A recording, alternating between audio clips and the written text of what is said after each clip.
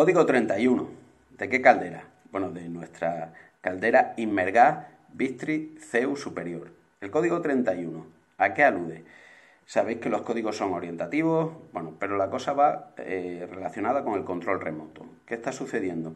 La caldera no está teniendo una buena comunicación con el control remoto. ¿Por qué? Bueno, vamos a ver pilas, vamos a ver eh, que todo esté correcto. ¿eh? Que, nos está fallando por pila, sustitución de pila. Vaya, el problema resuelto. ¿eh?